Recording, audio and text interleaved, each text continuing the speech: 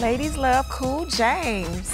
200 points. I wish I could give you extra for the way you said it because that was awesome. Weeknights at 6 on TV 55.